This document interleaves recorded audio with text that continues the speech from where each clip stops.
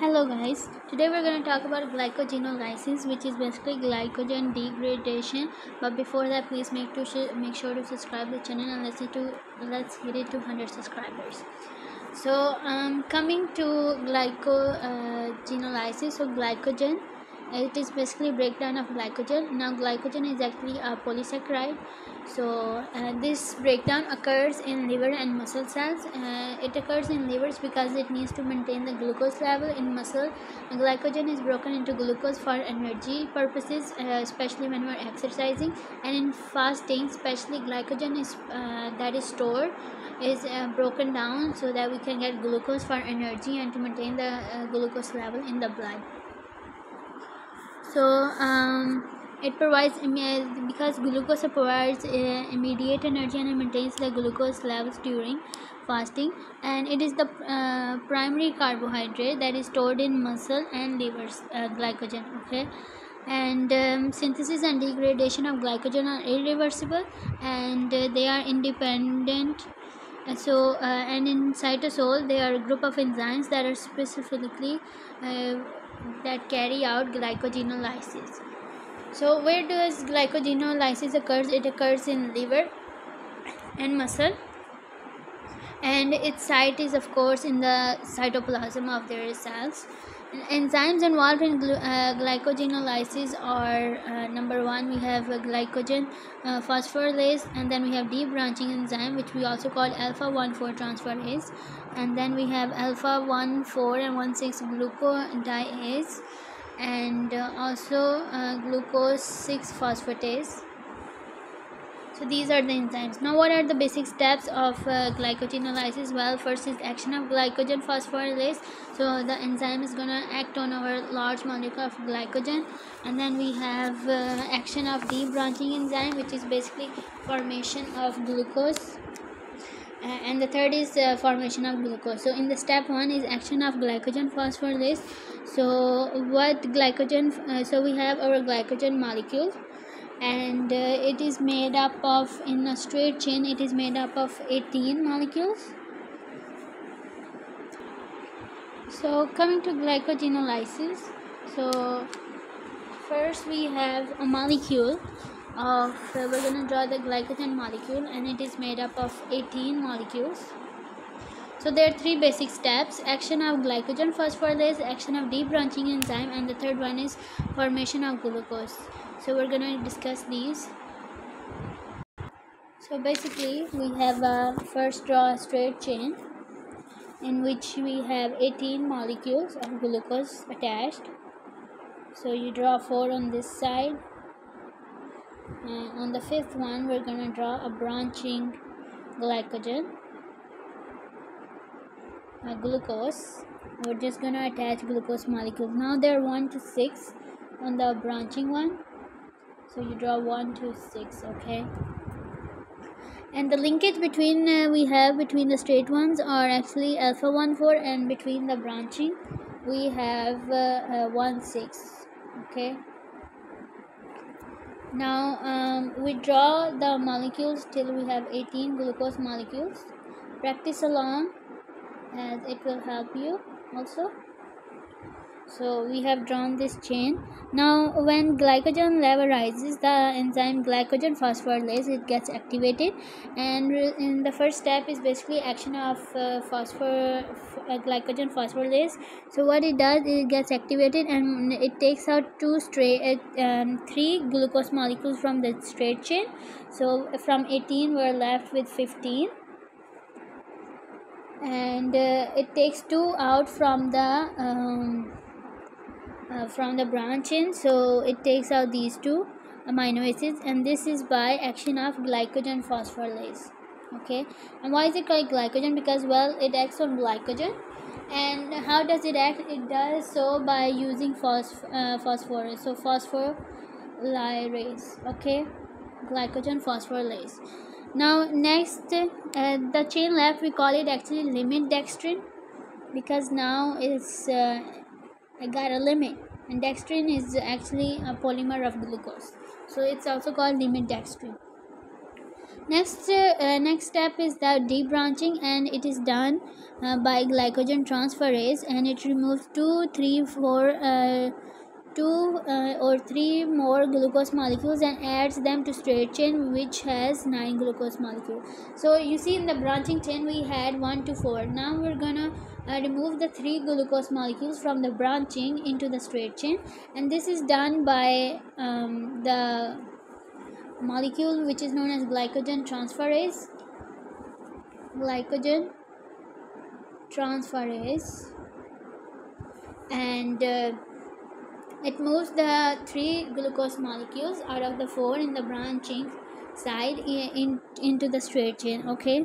Don't get confused we're going slowly so you can understand. So it adds it there okay? So now only one glucose uh, molecule is attached on the top. Now this is a detailed version of glycogenolysis okay? Now the one glucose molecule that was hanging on the chain it's actually freed by 1,6 glycodi- uh, glycodiase glycosidase enzyme because um, because it breaks the um, alpha 1 6 linkage. So it is uh, called uh, 1 6 glycosidase okay? Now in this step this from the straight chain we actually remove three molecules of glucose and there we remove it three times. So that's why we go from 18 molecules to 9 molecules in the straight chain. Okay and as a result we have four molecules on this side and four molecules on this side and four on the top. So it's uh, and this occurs uh, this is the starting of debranching okay? Now we have removed one of the uh, glucose from the whole chain the one that was branching. We removed it by 1,6 glycodiase and uh, now uh, we're gonna uh, break down remaining of the glycogen molecule. So the next uh, third step we read was that it was uh, break, uh, break down to glucose so we're gonna do that. How we're gonna do that? Well basically phosphorylase uh, enzyme it performs this action and what it does is basically break the 1,4 glycosidic bonds and release the uh, glucose molecules one by one. And so it's uh, basically the step of phosphorylases and it's repeated again and again 12 times because our whole chain is made up of 12 molecules. So we're gonna repeat it again and again till we have uh, 12 uh, each of the glucose molecule released. So we have 12 glucose molecules released by the action of phosphorylase lyrase enzyme. This is the one that uh, um, does it. Now what are we gonna do with each of the glucose molecule? Now with the remaining glucose molecule we add a phosphate to it. And the enzyme that uh, adds to it is basically also phosphorylase. And we add first we draw the structure of um, glucose molecule. So we have CHO first we draw that and I'm to tell the adjustments that we make. First draw the six carbon chain and then you add CH2 on the bottom and then OH uh, along OH OH and the third we have of course H at the side. And then we have OH H and then H H. Okay. Now on the top one we write actually double car uh, C double O O P. Now this P came from where the phosphate group that we added. So we call this molecule glucose 1 phosphate. Okay and uh, now next we do is we isomerize it and this isomerization is by which enzyme? Phosphorylase mutase. So this one converts it uh, phosphorylase mutase. That's isomerization. And what uh, what happens in isomerization? Well phosphoglycomutase it moves the uh, phosphorus group from there. So op is removed and we get the hydrogen back which is the aldehyde group and it moves it at the bottom. So in the bottom we have CH2O instead of the H we get a phosphorus there. So we call this glucose 6 phosphate. Easy? Next with the help of the enzyme glucose 6 phosphate we uh, move release that phosphate group from the glucose uh, molecule completely by adding water. Now when we add water why we're adding water? Because when the phosphate is going to be removed we need an H with the oxygen. So that H comes from the H2O okay? So at the end we get um, our glucose molecule. So this is how glucose is released. Because basically glycogen is glucose molecule we're just breaking down the chain. How do we break it? First we break the branching one the branches that are made and then um, uh, we have the one that's left and then we break down it into individual glucose molecules and then we convert those individuals into phosphates and then back to glucose. So you can see here. Now this uh, um, this step of conversion of glucose 6 phosphate to glucose it occurs in liver and kidney and not in muscle because uh, 6 phosphate enzyme is only present in liver and kidney. Now if we want to convert this step uh, glucose 6 phosphate to phosphate the muscles cannot convert it. They have to be they're converted by liver uh, kidney because they have the 6 phosphate enzyme. And then the glucose uh, so then glucose is made and then that glucose goes into the muscle and then uh, it uh, goes through glycolysis and we're releasing energy. So this is basically glycogenolysis now now if you still need uh, some more information or extra information with this if you're making notes uh, but if you're listening to the topic well we're going to talk about regulation of glycogenolysis how glycogenolysis actually occurs. So first we have is allosteric uh, regulation. It is basically when substrate uh, will be and energy level is high glycogenolysis is increased. So and when glucose concentration is low and energy level is low glycogen breakdown is increased. So basically glycogenolysis is when we have low glucose molecules. And also uh, glucose 6 phosphate allosterically it activates glyco- glycogen synthase. And at the same time it inhibits glycogen phosphorylase.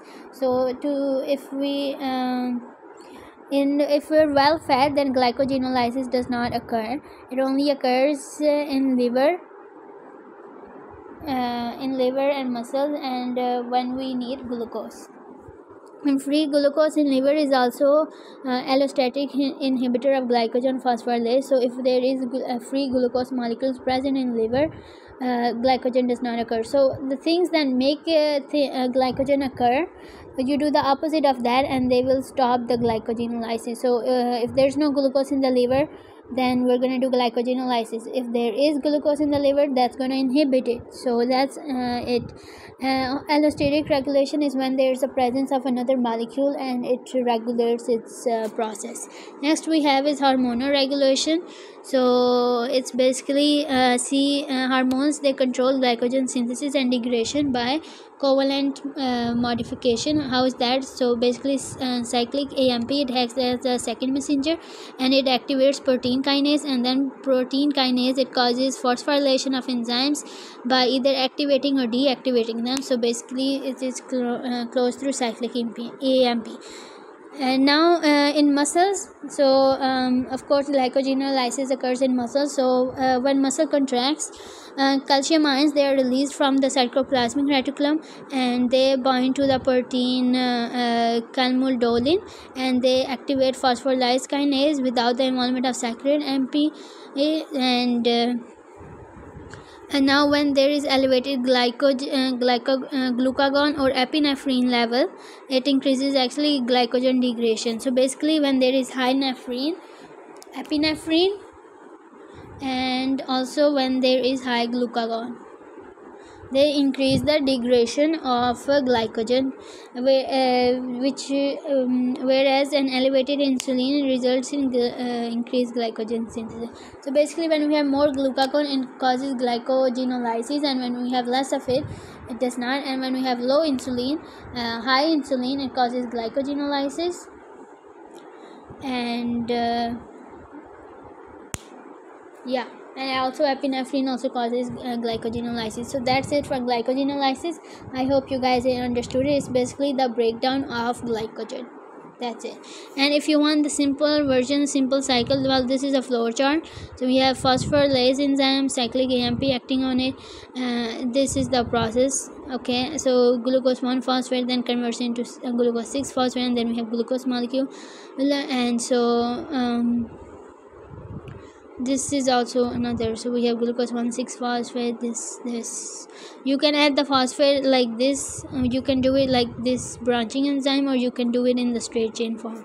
So yeah that's it. I hope you guys understood this lecture. If you have any question you make sure to ask in the comments and make sure to subscribe also. And let's get it to 100 subscribers. Shows your great support. Thank you